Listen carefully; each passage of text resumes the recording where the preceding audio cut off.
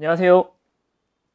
하늘TV의 의정부 하늘도령입니다. 반갑습니다. 네, 도령님. 네. 이번 영상은 양력 9월, 10월 원숭이띠 운세 영상입니다. 네, 우리 원숭이띠 여러분들, 어, 이제 올해 사실상 나가는 삼재, 에 이제 해당하는 띠이고, 특히나 아홉 수가 들었던 분들은 좀 어려움이 많다라고 이야기를 많이 들었습니다.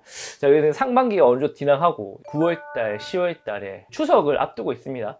이제 처서가 지났다 보니까 날씨도 이제 꽤 많이 선선해졌고 뜨거운 무더위도 한참 물러간 것 같습니다. 자, 우리 가을이 되면 추석이 오는 만큼 뭔가 한 해 2024년 갑진년에 뭔가 결산을 하는 그런 느낌이 들기도 하는데 자, 우리 원숭이 때 여러분들이 7월달, 8월달에는 그래도 확장의 그런 운기가 들어온다 라고 말씀이 드렸던 것 같습니다. 각자의 자리에서 소기의 성과들을 잘 냈는지 어, 궁금합니다. 자, 9월달, 10월달에는 우리 원숭이 때 여러분들이 앉은 자리에서 재정비를 하는 그런 모습들이 보였습니다. 대청소라는 그런 운기다라고 생각을 하시면 되고요. 그래서 뭔가 공부의 운이라든가 내가 앉은 자리에서 뭔가 진행해 나가는 일들 그리고 이제 이성의 운, 배우자의 운, 부부의 운, 가족의 운 이런 거는 좀 많이 올라가는 반면에 뭔가 이동수라든가 확장적인 부분이라든가 뭔가 변화를 가지려고 하는 분들한테는 9월달, 10월달에 조금 조급한 달이 될 수도 있겠다라고 말씀하십니다.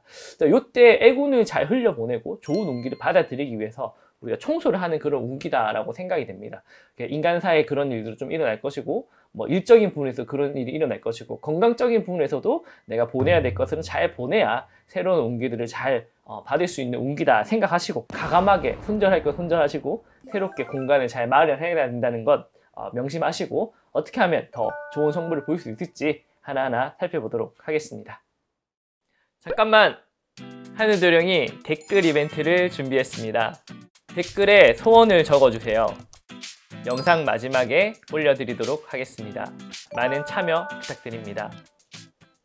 자, 가장 먼저 말씀드릴 띠는요, 올해 33살이 되는 임신생 원숭이띠 여러분들입니다. 5반기 먼저 뽑아보도록 할게요. 자, 양력 9월달 어떨까요? 짠! 아, 조금 갈팡질팡한다. 마음에 결정되지 않은 일들이 좀 있겠다라고 말씀을 하시고요. 자, 10월달에 잘 해결이 될지 보니까 아하, 이런 것들이 좀 시련과 고난이 오는 형국이다 라고 말씀하십니다. 특히나 이때는 고민하지 말라 이렇게 이야기를 하시는 거고 정리되지 않은 일들이 빠르게 헤쳐나가야 되는 타이밍이다 라고 말씀을 합니다. 정글을 갔는데 뒤에서 타자가 쫓아오고 있어요. 근데 이 정글을 내가 풀 같은 걸 다 헤쳐나가면서 도망갈 틈이 없는 거예요. 일단은 도망을 계속 가면서 결과를 내야 되는 시기다 라고 말씀을 하시고요. 속도전이다 생각하시면 됩니다.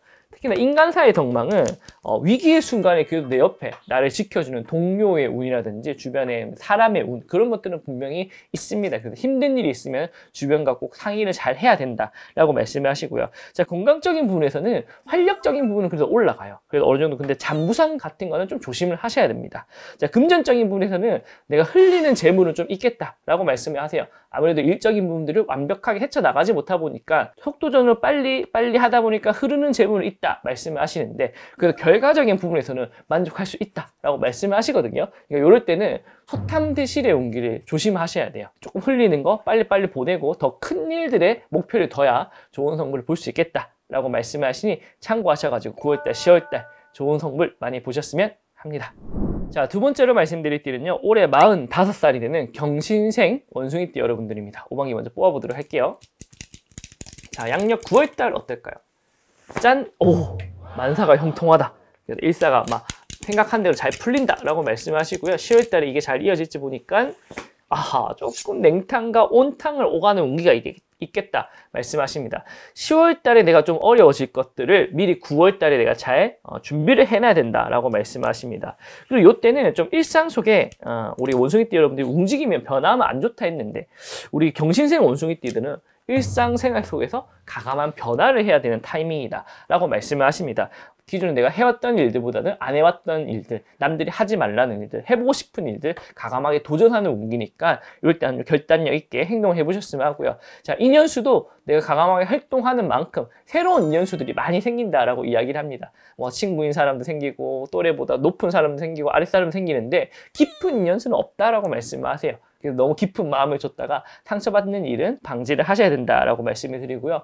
자, 건강적인 부분에서는 내가 좀 새로운 것들을 많이 접하다 보니까 신경이 좀 날카로워지고 예민해지는 부분이 있겠다라고 말씀하십니다. 그래서 좀 잠을 좀 설친다든가 아니면 좀 소화가 안 된다든가 두통이 있는다든가 이런 신경성 있는 일들 조금 조심해야 된다라고 말씀하시고요. 금전적인 부분에서는 나가는 금전이 좀 있겠다라고 말씀하십니다. 근데 이 나가는 금전이 새를 잘 불려가지고 돌아오는 금전이 더 많다라고 말씀을 하시니까 이때는 강함하게 써야 되는 일에는 강함하게 써야 된다. 그럼 내가 나중에 큰 덕이 있겠다 생각하시고 아끼지 마시고 써야 될 곳은 잘 쓰시기를 기원 드리도록 하겠습니다. 자, 세 번째로 말씀드릴 때는요, 올해 57세가 되는 무신생 원숭이 띠 여러분들입니다. 5반기 먼저 뽑아보도록 할게요. 자, 양력 9월달 어떻게 될까요? 짠! 오! 야, 대길에 옮깁니다. 오, 우리 무신생 원숭이 띠는 자, 지금 9월달, 10월달에 좋은 것들을 많이 받을 것들이 많다라고 이야기하시고요. 10월달은 어떨까요? 보니까 오, 야, 이 퍼펙트입니다. 퍼펙트. 자, 요때 타이밍은요. 내가 생각과 행동을 가감히 해야 되는 타이밍이다. 라고 말씀하십니다. 고집으로 밀어붙여야 될 때다. 라고 이야기하시고요. 보통 우리가 살아가다 보면 주변 사람들이 말릴 때는 다 이유가 있긴 하죠. 그렇다고 해서 내 인생은 내가 살아가는 거기 때문에 또 그런 말들을 다 기담아 담을 필요는 없습니다. 지금 타이밍이 그런 타이밍이라고 생각을 하시고 완강한 행동력으로 가감하게 밀어붙여야 된다라고 말씀을 드릴 수가 있고요. 그래서 인간사에서는 조금 고독수가 되긴 해요. 내가 아무래도 내 일사를 헤쳐나가다 보니까 좀 외로운 부분이 있긴 한데 그래도 부부 자리, 뭐 배우자 자리, 인연수 자리 이런 거는 좀 강해지는 게 있어요. 외부적인 인연수는 단절이 된다 하더라도 내 마음을 털 수 있는 인연수는 다가온다라고 말씀을 하시니까 참고하셨으면 하고 자 건강적인 부분에서는요. 어, 이제 관절이라든지 다리, 인대 이런 쪽으로 뼈 계통 쪽으로 디스크라든지 이런 좀 불편함이 있다라고 이야기를 해요. 신경 쓰이는 부분이 있으시면은 조금씩 치료를 받으시는 게 좋겠다라고 생각이 됩니다. 금전적인 부분에서는요, 뭐 아니면 도입니다. 쪽방 아니면 대방입니다. 근데 웬만하면은 어느 정도의 행동력만 갖추면은 큰 결과를 거둘 수 있는 그런 타이밍이다. 사료가 됩니다. 근데 보통 사람들이 이럴 때가 되면 많이 겁이 나요. 충분히 거두면 되는데 거두다 많은 경우가 있거든요. 근데 이때는 욕심껏 거두다. 라고 말씀하시니까 욕심껏 일단 거두시고 나중에 좀 베푸시면 되는 부분이다 라고 말씀하시니까 가감성 있게 좋은 결과 큰 성불 보시기를 기원 드리도록 하겠습니다. 자 마지막으로 말씀드릴 띠는요 올해 69세가 되는 병신생 원숭이 띠입니다. 5반기 먼저 뽑아보도록 할게요. 자 양력 9월달 어떨까요? 짠! 아하, 조금 마음에 결정되지 않고 갈팡질팡하는 부분이 있겠다. 라고 말씀하시고요.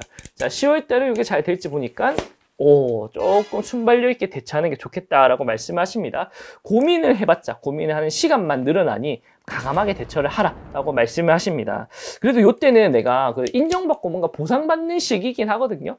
요 부분에 있어가지고 조금 마음 섭섭할 일들이 있을 수는 있긴 한데 그래서 결과적으로는 좋은 추이가 나는 타이밍이다 생각을 하셨으면 합니다.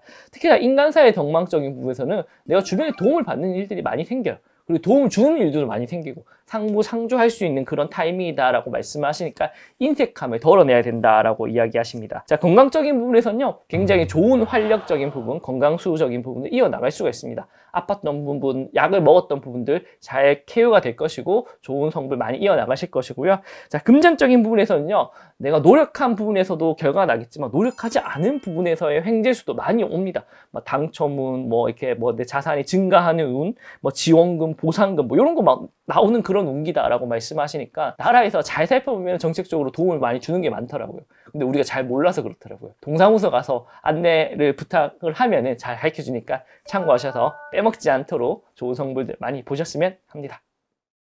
구독과 좋아요는 한해도령에게 큰 힘이 됩니다. 한 번씩 꼭 부탁드립니다. 제발.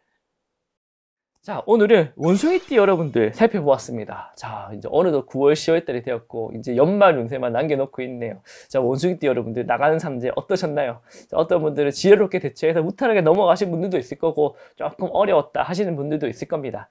근데 이게 삶이라고 하는 게 좋으면 좋은 대로 좋은 거고, 조금 내가 어려운 시기였다 하더라도 성장할 수 있는 그런 걸음이 된다 라고 생각을 하시면 은 인생의 뜻깊은 시간이 되지 않을까 생각을 해봅니다. 자, 하늘두령은 연말 운세로 찾아뵙도록 하겠습니다. 감사합니다.